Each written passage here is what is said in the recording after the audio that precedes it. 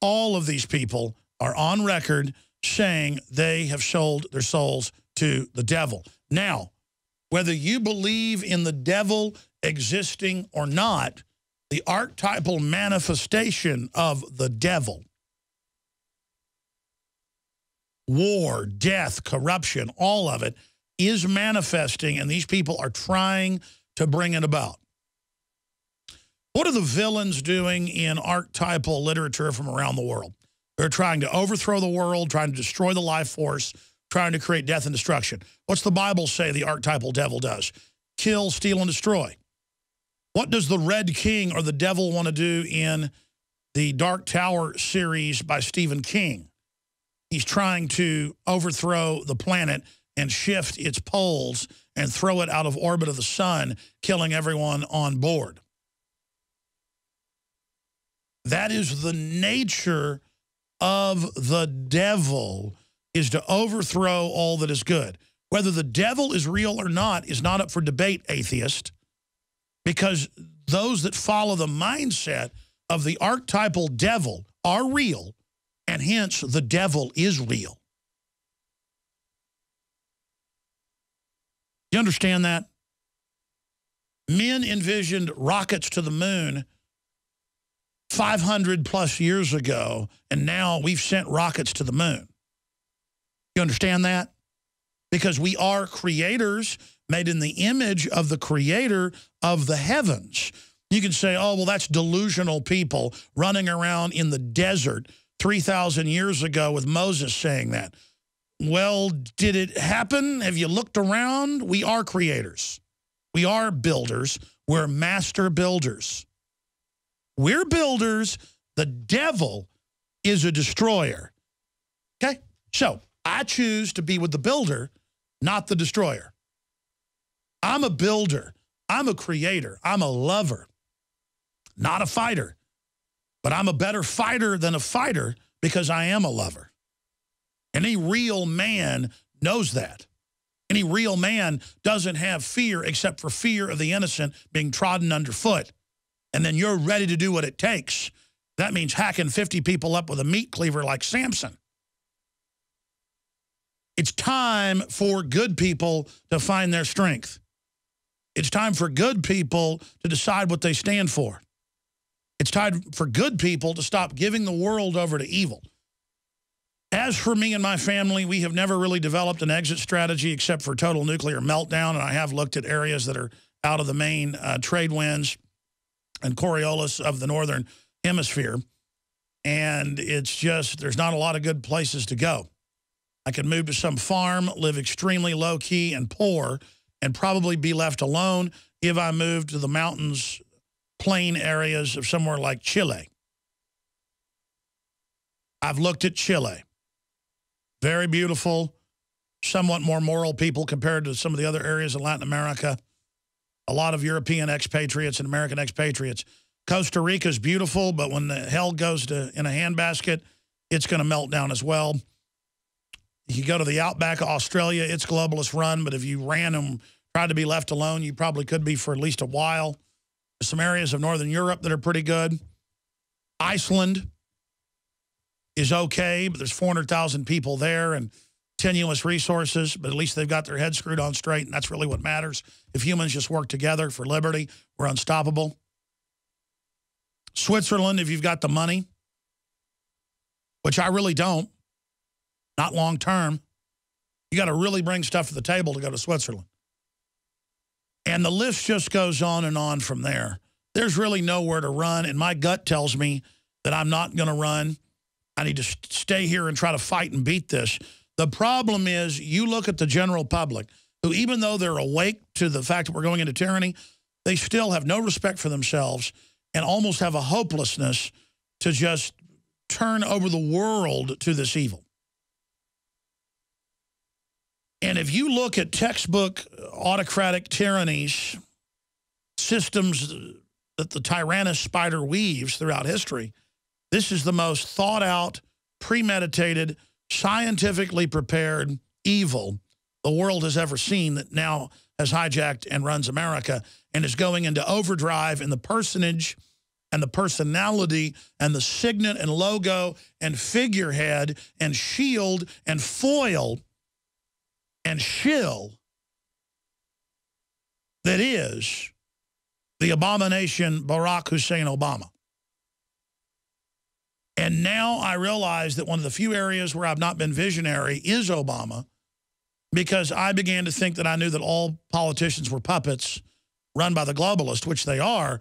But then in Obama, we're seeing like a baseball pitcher who's the closer in the eighth and ninth inning. And I see every sign they're making the move to close. And I try to hope and I try to pray and I try to look at how we're winning on many fronts, but that's why they're closing. But then that's why I realize I've got to stay and put my fat in the fire no matter what happens and double down. But I don't blame anybody who wants to get out of here.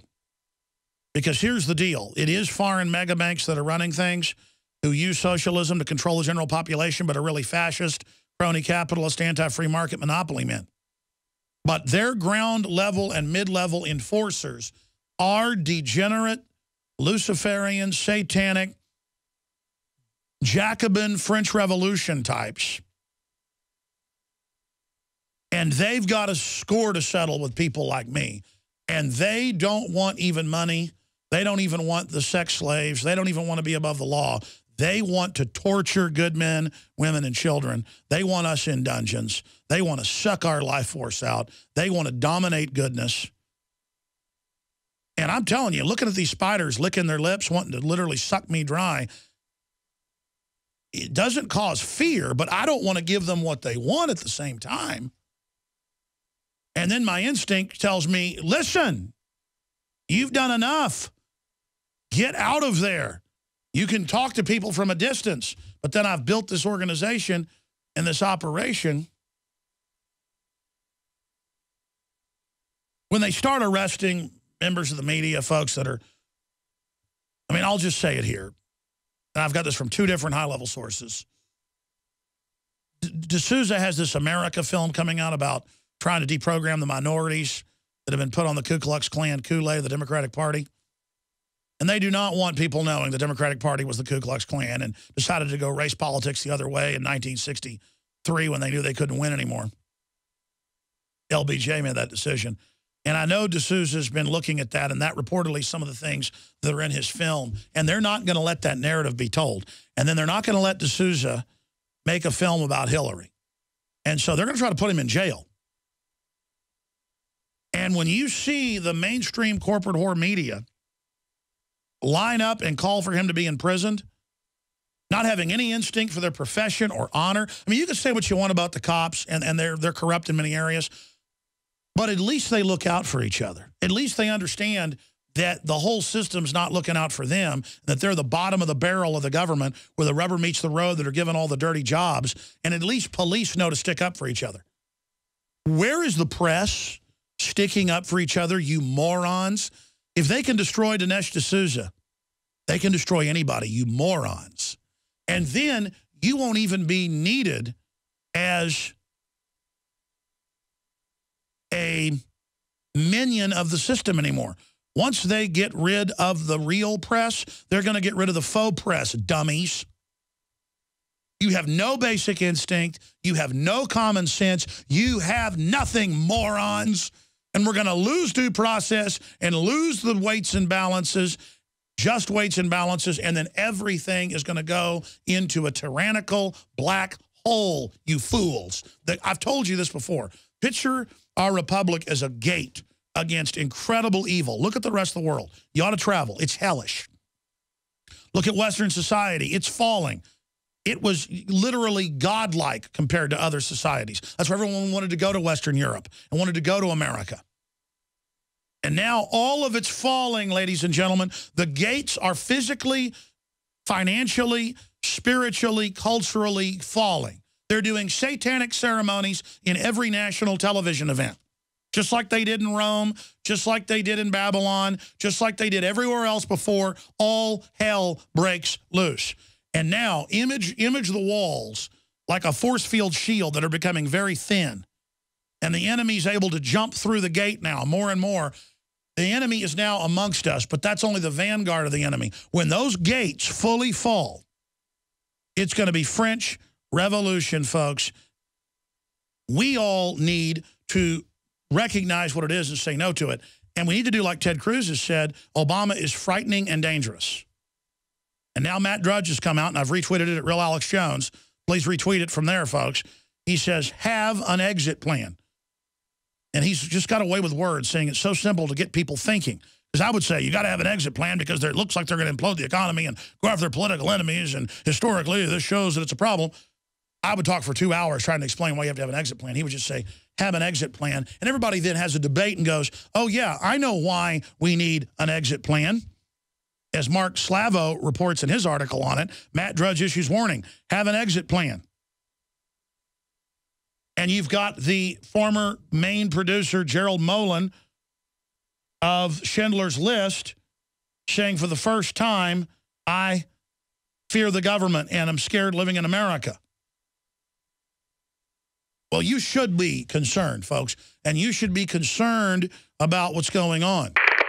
Introducing Pro One. All of your filtration in one system, portable, on the go. No more do you have two or three filters to just reduce sodium fluoride. You have a system that cuts out the sodium fluoride and up to 95% of hydrofluorosilicic acid. Advanced manufacturing technology combines silver impregnated white ceramic with new Aquamedics advanced media for removal of fluoride and other heavy metals, all in one filter element. It is the only one that does it, and out of the gate, we have it discounted at 10% off with promo code WATER. This is the only system that in one unit helps reduce or remove pesticides, herbicides, chloramines, ammonia, and chlorine, hydrofluorosilicic acid, the most common form of fluoride not covered by other fluoride filter brands, and sodium hexafluorosilicate. Get your Pro Pure with the new Pro One filter today at InfoWarsStore.com or by calling 888-253-3139. See the rest of the Alex Jones Show at our sister channel, The Info Warrior, or become a member of PrisonPlanet.tv and help us take the message of freedom and liberty to the next level. Thanks for watching, and please subscribe